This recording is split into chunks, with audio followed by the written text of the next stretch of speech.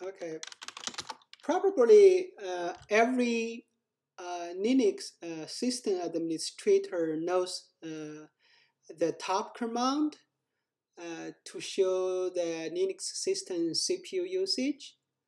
Um, in, so in this video, uh, I want to talk a, a, little bit about the top command and how to use it properly uh, to show more detailed information about uh, about the Linux system uh, CPU usage. So I will use BIG-IP as example here. So say I type a top command. Uh, it gives me uh, in the summary section, it gives me the, the overall CPU usage. Um, so basically, the this is for user space uh, CPU usage. Uh, in user space, this is in the uh, kernel space or system space, and uh, then uh, yeah, those field here, and um, so, uh, but the default output isn't that very useful, and I'll explain why. Uh, say he, here this uh, you you pay attention to this column, and um, so here it doesn't give you a uh, which pro this process on which uh, CPU core. So, uh, for example, if I type uh, number one in this window, top window, it gives me uh, how many uh, CPU cores uh, on, on this BIG-IP. So uh, immediately it gives me uh, 0, 1 uh, to 7, which is 8 CPU core. So I can type letter 1 again, then it, it, it goes the, the summary. So type 1 uh, again, it expanded to number of CPU cores. So uh, once you see this output, uh, then sometime you may see a, a particular uh, core, uh, maybe it's b is busier or uh, or less busier than other cores, and um, so you wanted to know what process uh, is running on that particular core. And again here, uh, those columns, it doesn't show the, the processor core ID for those processes running. So, but I can show you how. Uh, first, you you go into the uh, uh, field, top field by pressing letter F, so then it gives you the, the current field uh, uh, selected for the current field for top you can uh, select. So those with uh, asterisk uh, is already selected. Um, like like if we uh, escape we can see there's a PID user virtual memory, uh, resident memory, right? So those are already selected uh, field. So let's press letter F again, and we can see uh, those fields are selected. So we wanna, if we wanna uh, show a extra field, so we can uh, type those letters. So what I wanted to know is uh, what is the what is the last used CPU for a particular uh, process. So uh, this is uh, useful when you are troubleshooting uh, CPU usage and you wanted to know what process is using the CPU. So okay, so let's type letter J. Okay, it's selected, right? So let's is type escape key.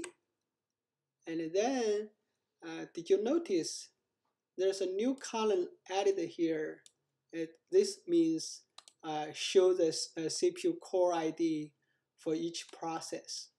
Okay, so now we, we know uh, which process is running is uh, used on the last uh, processor or core ID.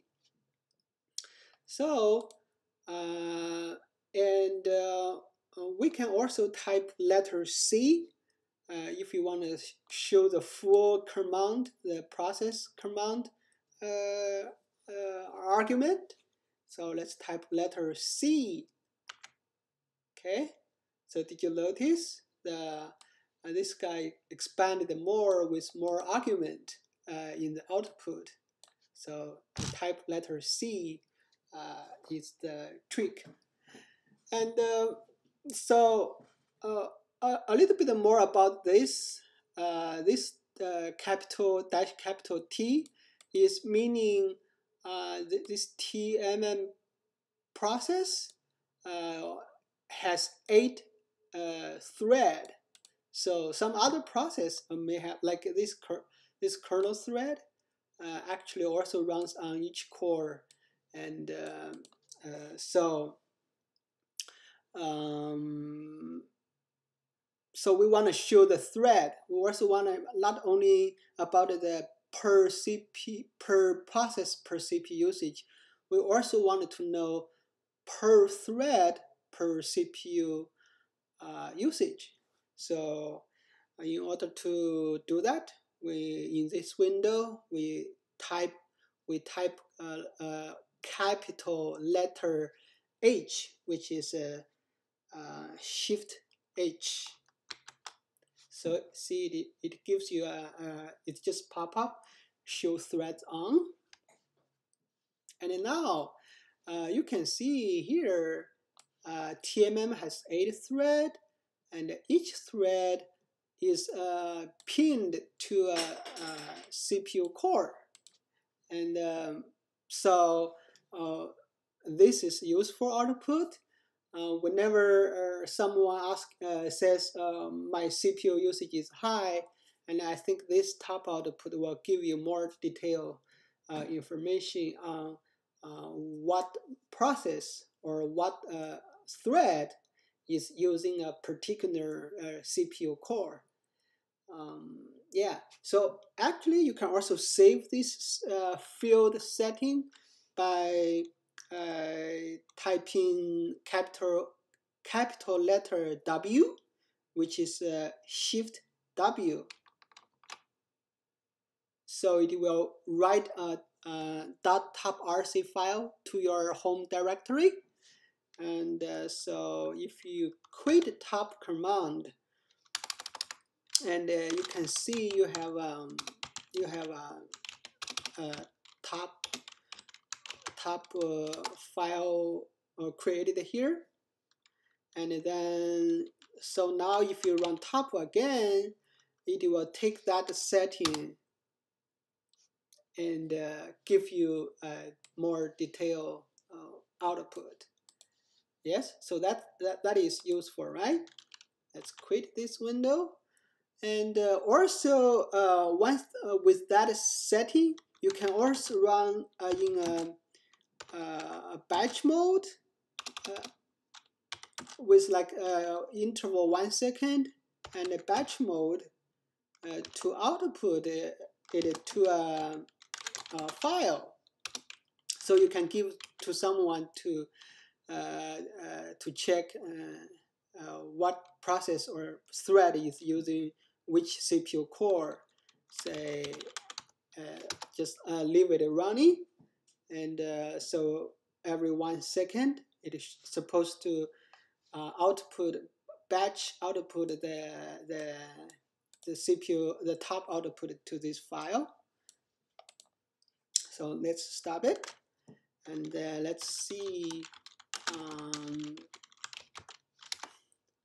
as you can see here, uh, we have the same uh, detail output here and uh, and uh, that is uh, useful for troubleshooting uh, CPU usage. See, 57, 58, 59. So every one second, we have uh, this uh, CPU usage output. So this is useful for troubleshooting uh, uh, Linux system CPU usage, or, or in this case, Big IP2.